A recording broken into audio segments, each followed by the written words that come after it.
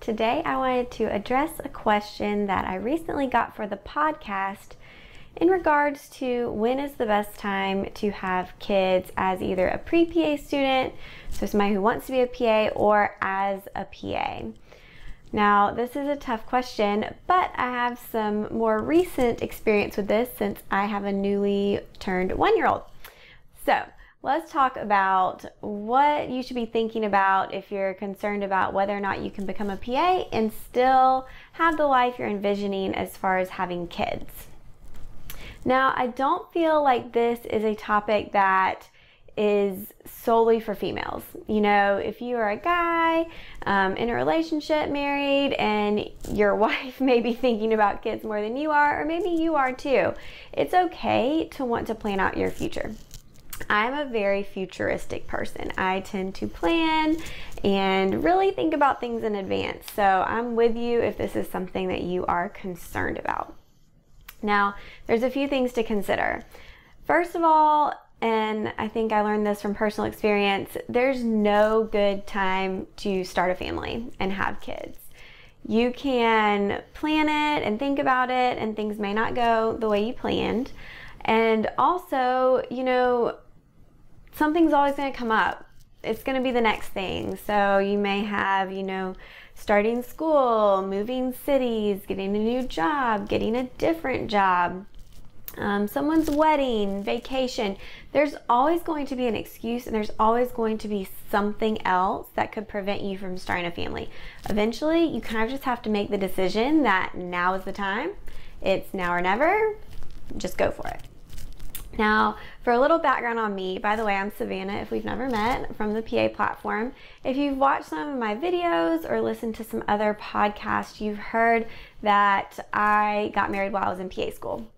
And that's not something that's typically recommended, but to me it was important. Um, this picture here, that's me and my husband. We met in high school, went to the University of Georgia together. We were both biology majors, and we got engaged right at the end of senior year.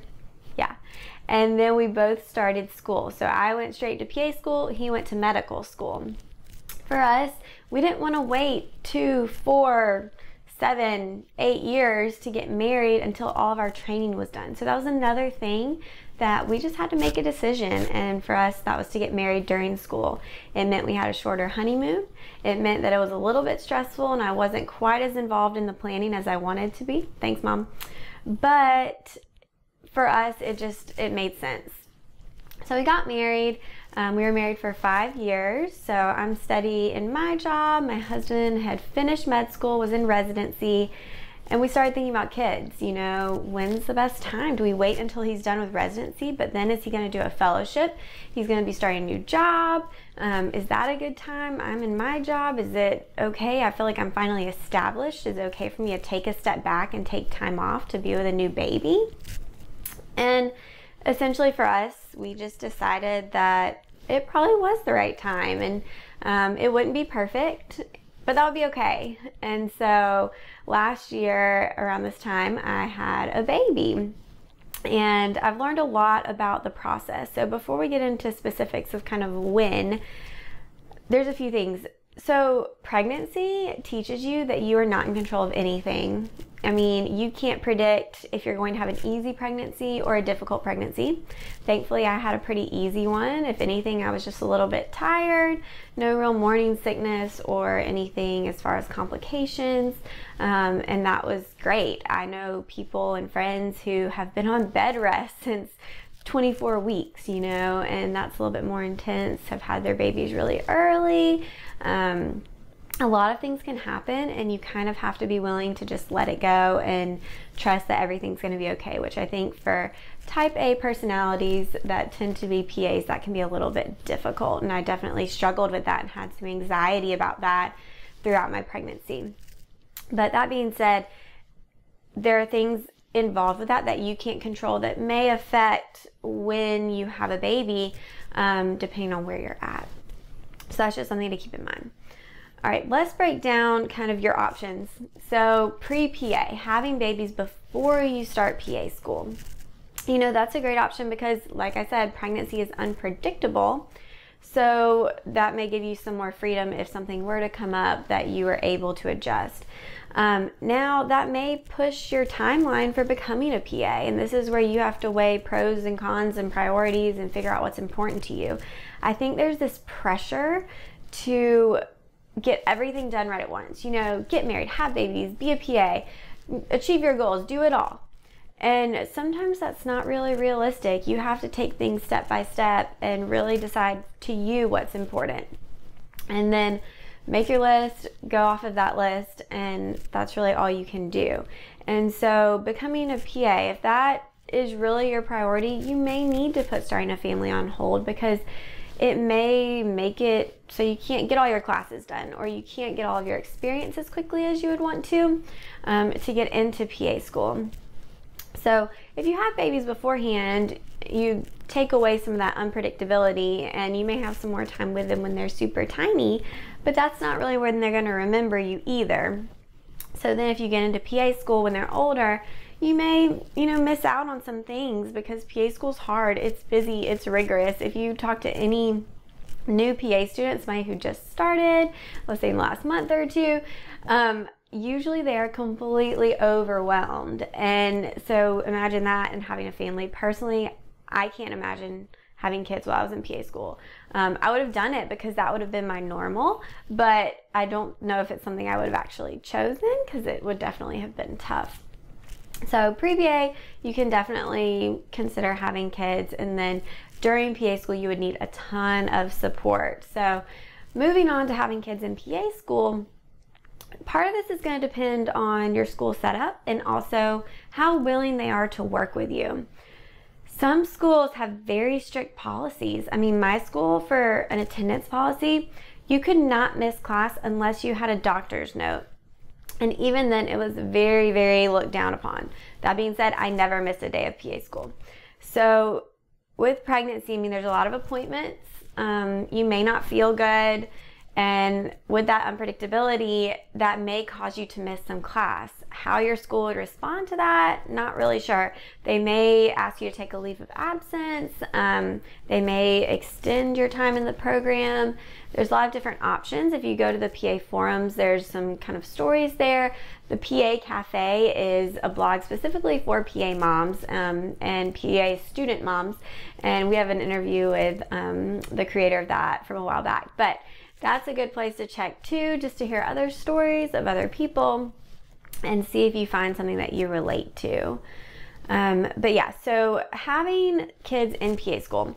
No one in my class got pregnant or had babies while we were in school. A girl in the class above me got pregnant while in rotations and actually was due the week after she took her PANCE. So she graduated, took the PANCE or boards a week later, and then the week later had her baby, which is crazy. And I remember talking to her about being on rotations because the expectations for her, even though she was very pregnant, were the same as any other student. So in surgery, when you're standing for hours and hours and hours in a hot OR with scrub on, um, you know, that could be tough being pregnant, but that's something that you've got to just take into account and be ready for if that's what happens. Um, there are some Instagram accounts of PA students who have had babies, and just know that it's possible. You know, you don't necessarily have to put that on hold. You may just have to, again, adjust what you're doing. Another option is to wait until after PA school when you're a PA like me. Um, and that's what most of my friends have done too. And, you know, right after PA school, we had just a bunch of weddings. And then a few years later, a bunch of babies. And so We've had tons, tons of little PA babies since then. And, you know, I wouldn't change anything about how I did things. Maybe, if anything, I would have her sooner because um, it seems like my baby has just been a part of our lives and I can't imagine her not being here. So I, I love it. And I don't know. They say parenthood changes you, and it's so true. I mean, you don't know what it's like to be a parent or a mother until it happens. And, you know, I was that person who was always like, I'm going to be ready to go straight back to work, and I'm going to want the shortest maternity leave ever. And you know what? That wasn't true. I wanted to spend every single second with her. And even now, when I get home, the first thing I want to do is give her a hug, which usually means chasing her down and hang out with her. And so it's definitely something that you don't know how it's going to affect you. Um, you have to think also about finances in this and being financially stable. Um, I don't think babies are quite as expensive as everyone makes it seem. Like there are definitely ways to save money. You can buy used stuff. Um, there are lots of sales on diapers, all kinds of things that can help. Um, there are also a ton of gadgets, and I have a true baby clothes addiction. So I'm probably not the best person to speak on that, but there are options there. Um, and I think the other thing about having a baby either in PA school or even as a working PA is you've got to have a plan in place for childcare and support. So if something does happen, if your baby's sick, um, if your sitter cancels, what are you going to do? I work as a dermatology PA, and so having a busy clinic, it's difficult for me if I were to wake up and she has a fever. You know, I have 35 patients on my schedule. That's tough to move everyone. Um, I absolutely would do it if I have to, but thankfully I have parents and in-laws who are willing to help out if something comes up. So um, that's very, very, very helpful. But something just you have to think about. There's a lot of things, you know, you just have to have an honest conversation and know that um, either whatever decision you make, it'll be the right one and it'll be fine. And you'll have a sweet little baby who you love. And that's all that really matters. So you've got to decide what works best for you. I would love to hear your thoughts in the comments. Um, and just shoot me a message on Instagram. Let me know your thoughts and what you did. If you have a story about how you became a parent during PA school or before or after, let's share it. So I hope that was helpful and answered the question. See you guys next time.